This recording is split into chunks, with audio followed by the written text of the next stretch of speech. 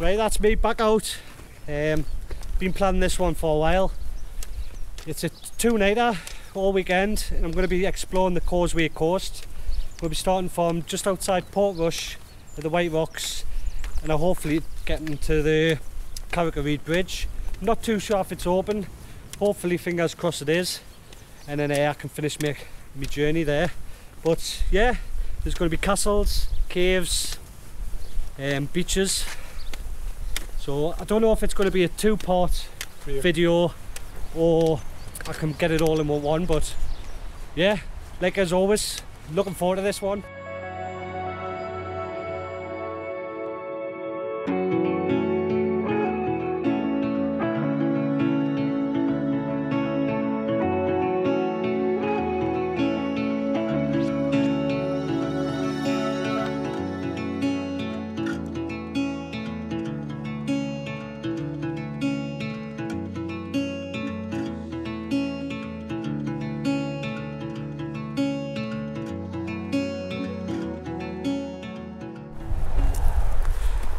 so first on the list is a castle we're going to be exploring. I don't know if it's Dunluce, I think it might be the name of it. So we're going to check that out. It's starting to spit a little bit, but sure, that's what happens every time I'm out. And then after that, we're going to be going to the Giant's Causeway. It's got some crazy rock formations. Uh, definitely looking forward to seeing that again. Hopefully I can get the drone out there, just get a good look around. But definitely a good place to come and visit if you're around this area. Most of these places are on the Game of Thrones, probably all of it to tell you the truth, but yeah, let's crack on.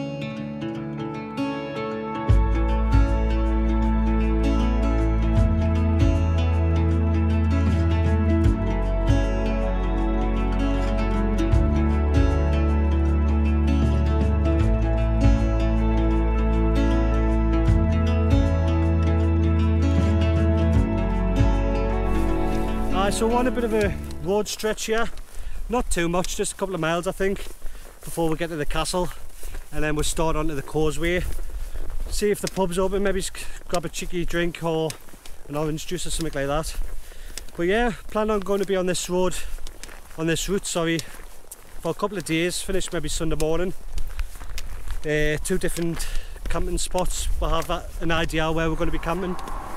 So been wanting to do this for a long time. It's been on my list. It was this one, Rams Island, and the Mourne Wall. But my fitness isn't there yet for the Mourne Wall, so I might give it another year. But I'm happy with this. Been dying to do something with a few miles for a long time. Oh, and I've got a new quilt. I'll show you later on. Alright, so we're early at the castle here. A couple of minutes away. It's a nice little walk most of it was road but you still got the views. So tonight uh, we'll have someone uh, joining with from the camp. And uh, the night after we've got someone else joining with as well. I'm just doing this hike with David Doyle. He's a YouTuber too. I'll put his uh, his, his channel on my uh, descriptions. I'm stuttering a lot on this one. Haven't woke up yet. Need your coffee? I need a coffee so but yeah you should check out his videos. A lot of it's the causeway as well with the drone. So if you're thinking about looking or coming around this area you know it's definitely worth checking out. So yeah let's go and have a look at this castle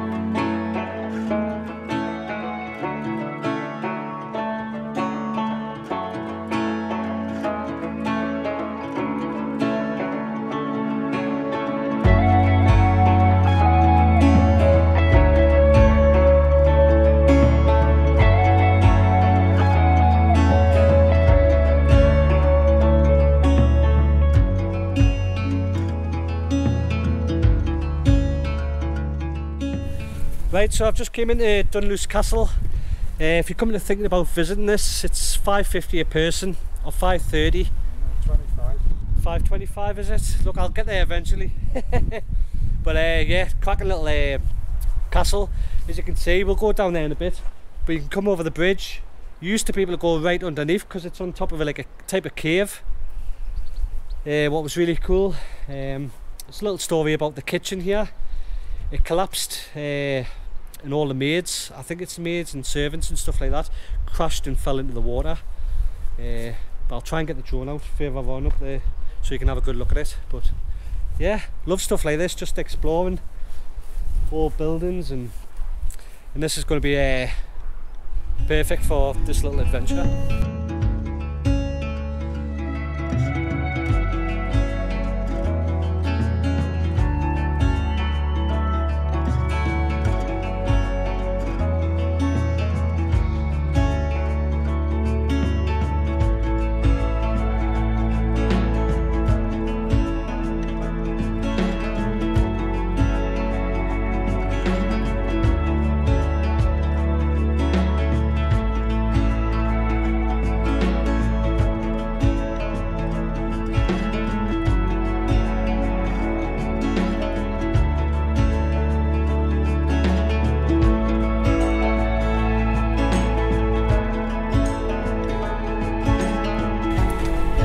That's us back on the trail.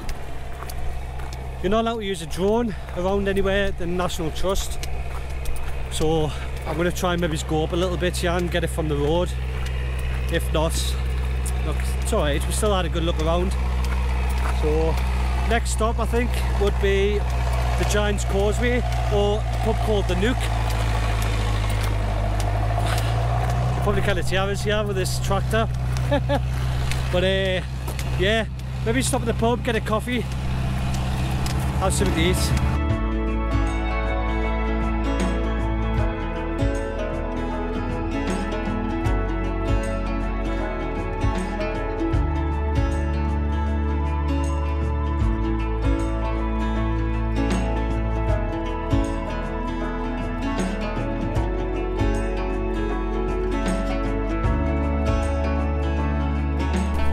Just walking through Port Ballantrae. Uh, nice little town, where village. Houses are massive, really nice. So I think a lot of retired people and stuff like that would live here. So the plan is, there's a shop down the road here where it starts the, the proper trail. Maybe just grab a sandwich for later on. Um, a couple of snacks.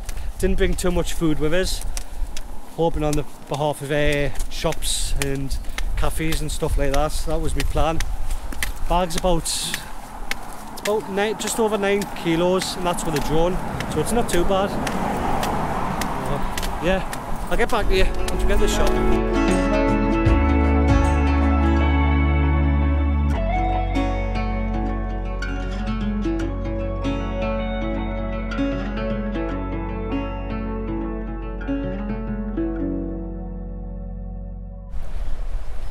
Yeah so if you're ever doing this walk it's handy to know that there's just a shop just before the start of this trail coming up towards the Nook and the Giant's Causeway. It might be the last shop for a while until the pub at the Giant's Causeway but it's handy. You can get a sandwich, your drinks whatever you need and just carry on. You've also got toilets. Um, I don't know if there's any shower facilities or anything there but definitely handy to have. Nice little sitting areas around over here. So where we'll be going, we'll maybe just walk a little bit up the beach. There's a train track here. I would like to say it's got like an old train on it. runs up and down sometimes. And then we're going to be heading towards, I don't know if you can see, there's like an old house there on the corner, some sort of a manor. And then round, and that'll be the start of our, our trail. So yeah, we're doing good for my, doing about five, six miles, something like that. So yeah, we're doing good for time.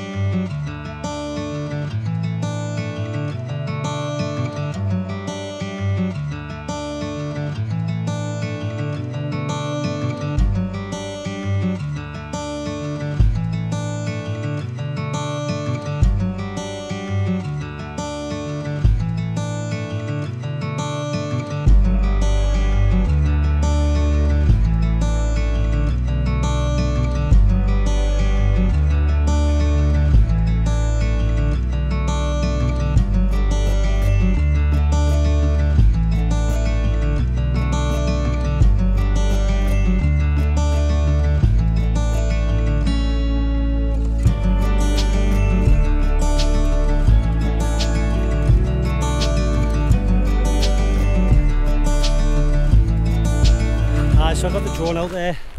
It's pretty windy, but hopefully I don't know what it looks like yet but maybe you can see a bit further down the the coastline where we're going to be walking. But uh, it's a really nice day. Nice little bit of breeze. Um, how's the train track look? So this must just run run right up the side of this coast. Looks pretty cool. Hopefully we'll see something go past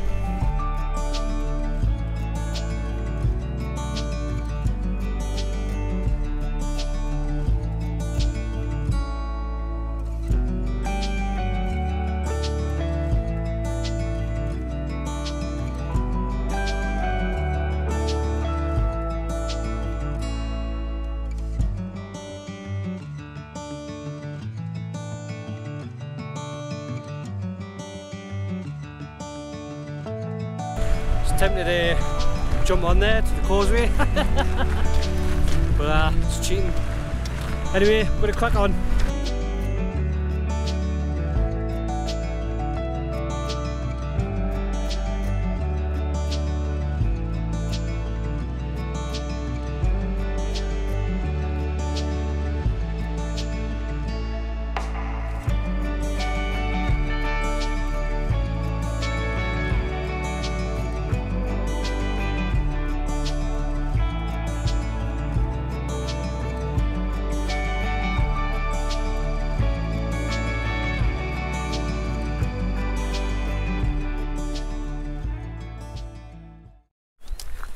Right, so we're not far from the Giants Causeway Centre. If the pub's open, stop and get a drink, a cup of coffee or something like that. The plan is uh, to walk the cliffs above the Giant Causeway uh, to get the best views and then hopefully I can get the drone out and give you a good proper look at it. But yeah, people all over the world come to visit this place. It's a really good little spot. One of them things you, where you'll not see anywhere else, you know.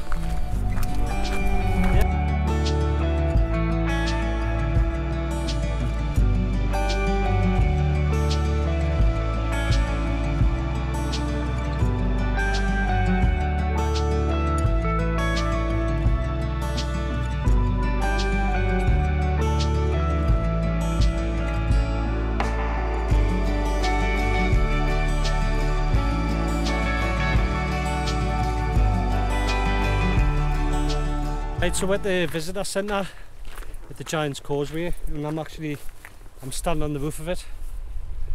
Yeah, so these must be skylights. Yeah, it's pretty crazy. I'll have a look, see if I can get a, have a look down.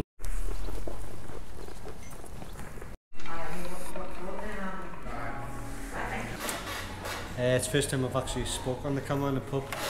So we're in the Nook and we're just about to start the Giant's Causeway. We're debating whether to take the low road, have a look at the uh, rock formations. I think I've had too much cider. And then climb up the, there's a, some stairs on the way up. It's pretty steep, or we might just walk across the cliffs. We'll see what happens. But um, I win the Nook, very good little pub. Just top up with water, had the toilets and a little cider. So we're in the go again for the second half. Right, so we just stopped for a pint at the Nook. Uh, really nice spot, really friendly. So well deserved cider. Top right up, ready for the next bit. Now we're going to go down and tackle the Giant's Causeway. So yeah, we'll get back there. Still got plenty of time, still dry, so still good. Right, so this actual walk, I would say from the centre to the rock formations is around a mile. Last time I did this, it was about 10 years ago and this path looked nothing like this. It was quite rough and hard to walk on, but now it looks looks really easy. I am really impressed with what they've done with it. Uh, I could probably bring the child down here on the wheelchair, no problem, you know. Nice. Right, so these are these mad rock formations. Uh, something to do with the volcanic when it came from the ground the way it cooled, it's shaped like this into these mad shapes. But ah, you'll not see this anywhere else. Absolutely nuts. I was here about 10 years ago. Um, obviously with more hair.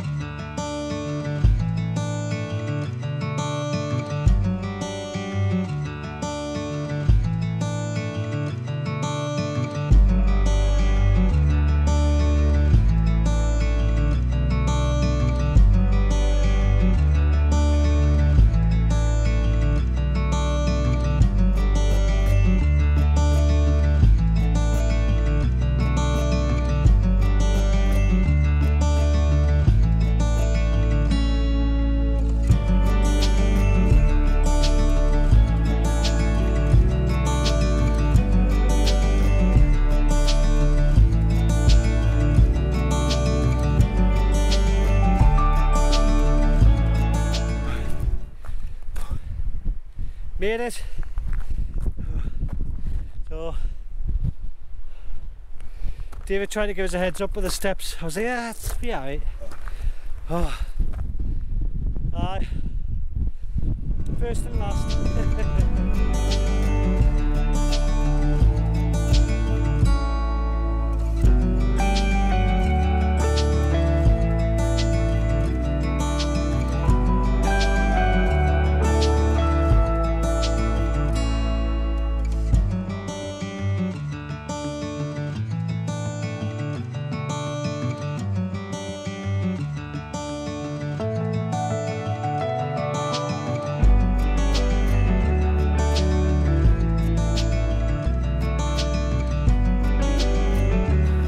us ploughing on.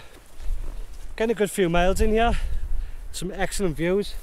The weather's actually uh, been in our favour. A couple of light drizzles now and then but been perfect. It's starting to get really warm now to tell you the truth. But yeah coming around the cliffs here heading towards Port, Port Moon where we're going to be meeting up with Stevie who's going to be joining with tonight for a camp. Uh, another YouTuber. I can put his link in in the description as well but the views are unreal. There's two different routes you could go. There's a one as you're coming around the bottom? Here but you've been advised to like wear hats and you've got to be sort of half decent with your climbing experience. Uh, wouldn't recommend it. Or there's route we done where you get a good view of like uh, the north coast. Sun's come out again. Uh, but look at these views absolutely class brilliant. See Rathlin Islands now uh, and White Park Bay. We'll be going past that tomorrow at some stage over to Larrybane and then over to the Carrick Rede rope bridge. But yeah just want to keep taking pictures all the way around stopping taking a photo stopping taking a photo. So maybe it's another what do you reckon three miles maybe today so it's good going yeah,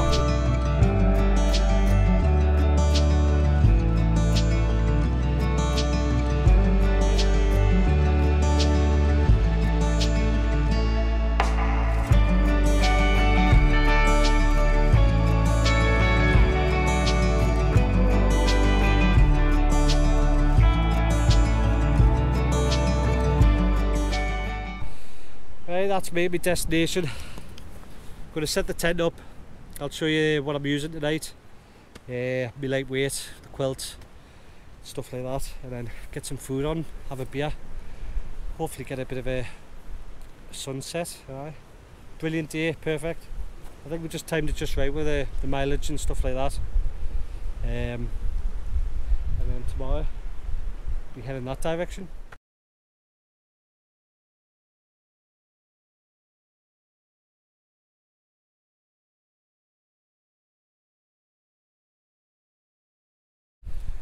Right, that's me set up. I'm starving now, like, but I'll show you me uh, me set up for tonight. Got a crack a little spot. The wind's picked up a little bit. Looks like it's going to rain a little bit, so just in time for us wanting to get the drone out, you know. Still plenty of time, like. Hopefully it'll change, but yeah, we'll have a look. Yeah, this is my setup. This is my view for the night.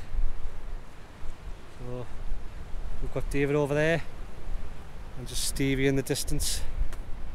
So yeah, I think it'll be nice in the morning with a cup of coffee, just sitting chilling out, looking at that over there.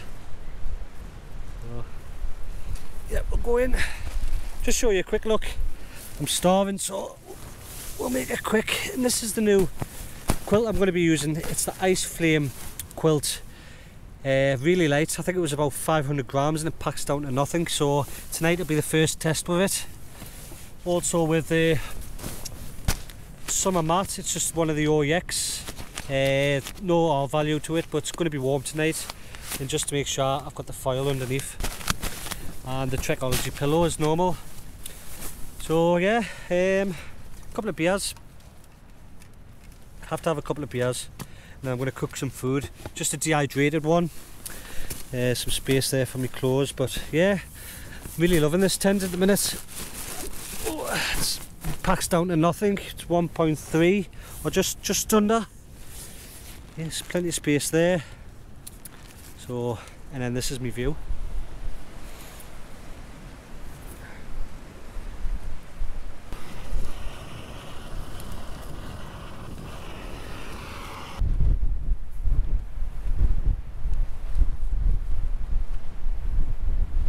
Well that's me, fed and watered, just under my last beer.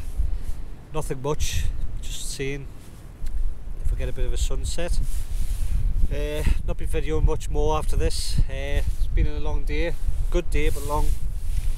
And it's big day tomorrow too, so I'm just gonna have an early one. Um, try and get the drone out if we get a bit of a sunrise here, sunset. Sorry, half asleep and then uh, I might make this into two videos depends how much footage I got. See if I need it or I can compress it into just one video. I don't like making them too long. So yeah um,